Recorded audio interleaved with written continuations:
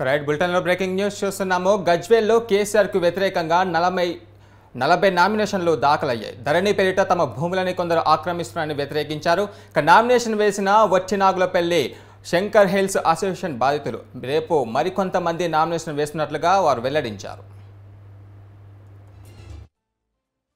రైతుల దగ్గర ఎనిమిది కుటుంబాల దగ్గర ల్యాండ్ తీసుకోకుండా తీసుకొని మొత్తం నాలుగు వందల అరవై ఎకరాలు మూడు వేల మూడు వందల ఇరవై ఎనిమిది ప్లాట్లు. Mostly five hundred square yards ఒక్కొక్క ప్లాట్ ఆ రోజు అందరికీ రెగ్యులర్ రిజిస్ట్రేషన్ లేదు. అందరి పేరు రిజిస్ట్రేషన్ లేదు.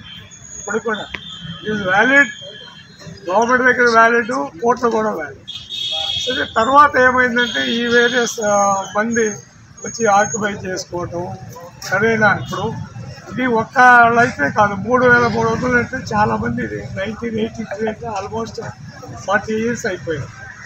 విడివిడిగా ఉన్నారు. ఒకళ్ళు ఒక్కళ్ళు ఒకరికి సంబంధించింది కాదు. దీన్నే కొంతమంది ఆక్యుపై చేసి ఆ రైతుల దగ్గర పోయి మరలా సెకండ్ సేల్ చేయించుకోండి దాన్ని మాదని చెప్పి వాళ్ళు క్లెయిమ్ పెట్టి రెవెన్యూ వాళ్ళని మిగతా డిపార్ట్మెంట్ వాళ్ళని లోబరుచుకొని ఆర్థికంగా కానీ వాళ్ళ పేరు ఎక్కించుకోండి దాని మీద మేము లీగల్గా కూడా పోవడం జరిగింది. లీగల్గా కూడా మధ్యలో కొంత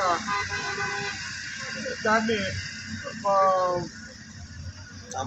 అహిత్ రెడ్డి అని ఆయన ఒక ఆయన ఎల్వి సుబ్బారెడ్డి అని ఒక ఆయన గంగా కృష్ణారెడ్డి అట్లాగా ఉన్నారు మొత్తం పది మంది ఇంక్లూడింగ్ ఫీనిక్స్ గ్రూప్ శ్రీనిధి అనే గ్రూప్ మొత్తము మీకు